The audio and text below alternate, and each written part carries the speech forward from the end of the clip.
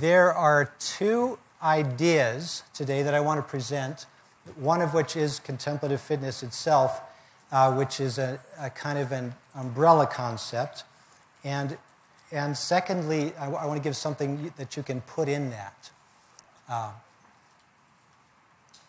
it was, it was about two years ago that I spoke at the Buddhist Geeks LA conference, and I talked about enlightenment for the rest of us, in which I made the case that enlightenment is for everybody. Uh, it's, it's not just for special people in caves, and that it's a, it's a natural, organic process of human development that's available to, to everyone. So today I'd like to follow up on that idea by presenting a concept that I think we're sorely in need of. Even as the mindfulness revolution seems to be knocking at the door, with, with uh, mindfulness being taught in schools and in prisons and the military, and uh, the movers and shakers in Silicon Valley are embracing mindfulness we don't have an overarching concept for the benefits of meditation. There are specialties, and there's, I think there's some confusion about how all these things fit together. So, what I propose is that we take the concept of physical fitness and just move it over wholesale into the realm of the benefits of meditation. one way to, to start uh, framing this is to remember that these concepts don't emerge fully formed, they develop over time. For example, when I was a little kid growing up in the 60s, the concept of physical fitness as we know it today, it didn't really exist. There were sports and athletics, but for those of us who were not competitive athletes, there, it wasn't clear how that was relevant to us. We were spectators. But there were some pioneering efforts. There was, for example, Jack LaLanne.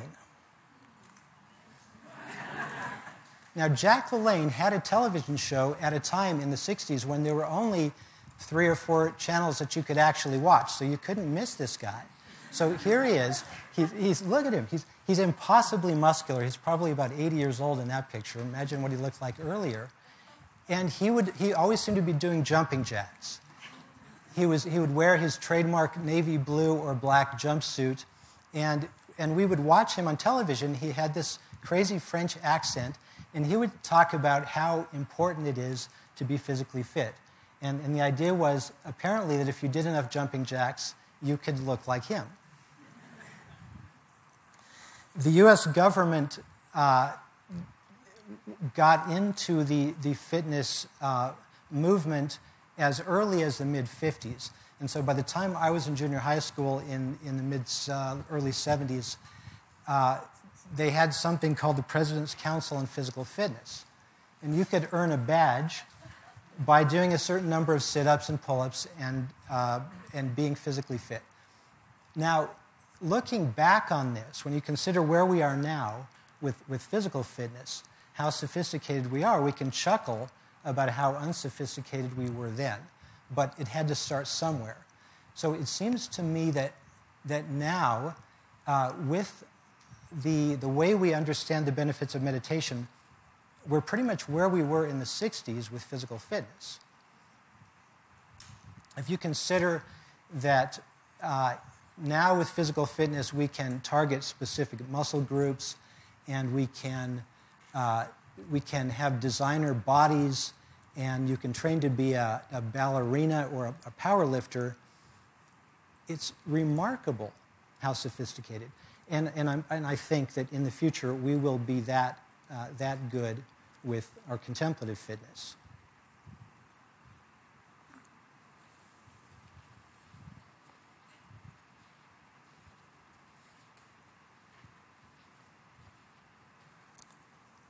There are some questions that get a lot easier once you have this schema. Once you have this umbrella concept that contemplative fitness refers to everything that could happen uh, with meditation and, and rel- uh, related practices.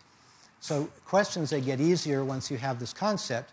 For example, do I have to believe anything? Well, if I ask you, do you have to believe anything to be physically fit? You'd probably say, no, you just have to exercise. That's a powerful concept. What you have to believe is that you, if, you do the, if you do the practices, you're going to improve.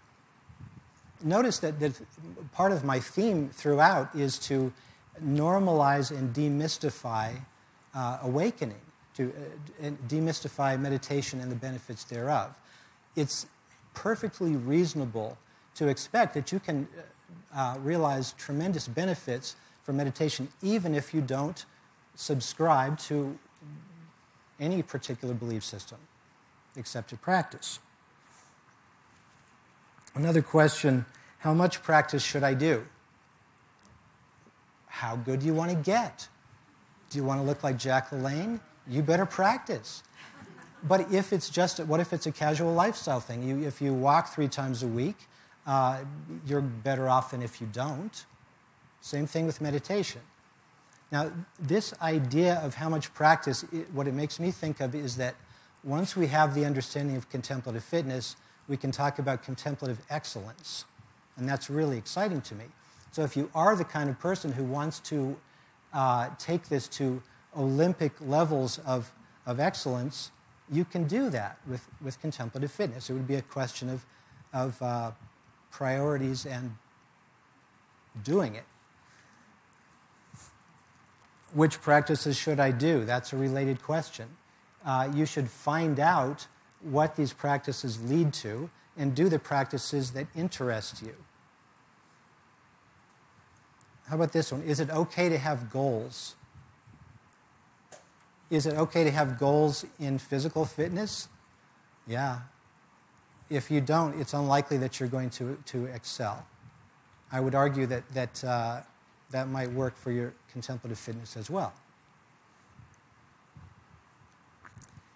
And here's one What does excellence look like?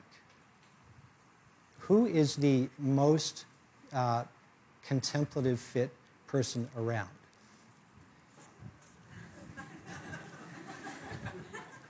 let me, let me make a, a, a, parallel here again between physical fitness and contemplative fitness. If I said to you, Michael Jordan was not a great athlete, and the reason I know this is because he doesn't look very much like my favorite athlete, Serena Williams. And in fact, I think she could trash him at tennis. You would say, what are you talking about? That's absurd. These are two different athletes. They're obviously excellent, both of them. They're, they're uh, amazingly fit specimens, and they don't do the same sport. So, why are you even doing this? And yet, if I said to you, Ramana Maharshi was not a great yogi because he doesn't look very much like my favorite yogi, you know, take your pick, but I've got a picture of Gangaji here people buy into this kind of argument. We still, this is what I mean about how we can become more sophisticated in how we think about this. We can understand that these are both uh, examples of excellence. And we really don't have to go to my guru can beat up your guru.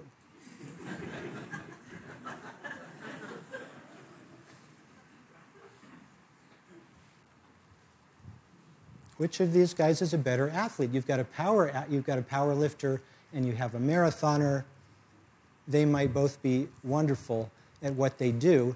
And interestingly, if you're optimizing your physical fitness for powerlifting, you probably won't be a very good marathoner, and, and vice versa. But I don't really believe that those guys sit around and argue about which one of them is best.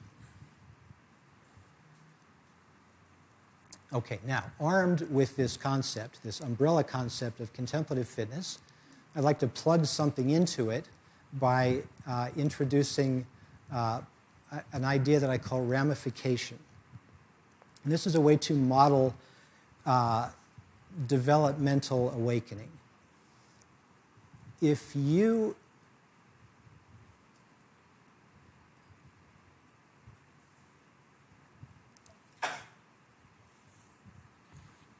I think, uh, let me just start by, say, by listing some benefits of, of, of meditation, then I'm going to plug them into this model.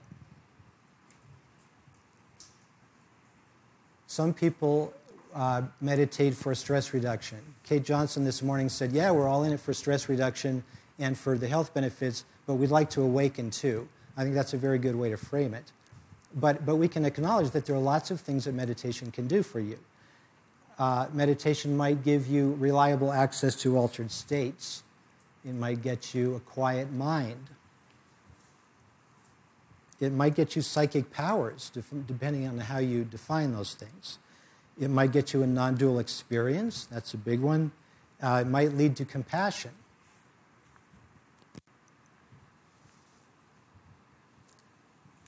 Using the model of a tree. Now, this is the, the ramification idea. If you trace the Latin roots of ramification, it means branching. So we're going to use the tree. Now, this particular tree grows right up the middle. So the zone of optimal growth on this tree is, is at the top in the middle. If you were to take a paintbrush and splash a little bit of paint right at the top in the middle, it wouldn't stay there. You can see how it slides off to the side like this and slides further down. This is the ramification, this is the branching. So if you wanted to stay in the zone of optimal development, you couldn't fixate upon one thing. You couldn't fixate, in, in our uh, analogy here, you can't fixate upon calm. You can say, okay, I've got it. Meditation is about calm, so I'm going to do it uh, until I, am as calm as, as you can possibly imagine. You actually would presumably become calm, but there's an opportunity cost. You'd be missing on the zone of optimal de development. So you're better off to just iteratively put yourself back into this spot again and again and see what happens. Don't fixate upon calm or, or a quiet mind or even compassion. I mean, these are wonderful things. But to really get the benefit of this, according to the ramification model, uh, you're going to have to uh, keep it fresh.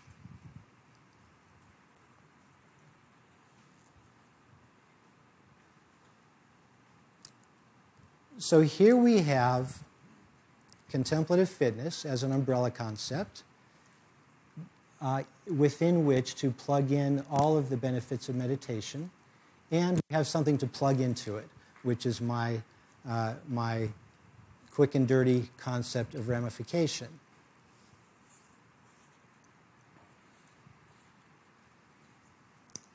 The physical fitness revolution took hold when we stopped watching Jack LaLanne doing jumping jacks on TV and did jumping jacks ourselves.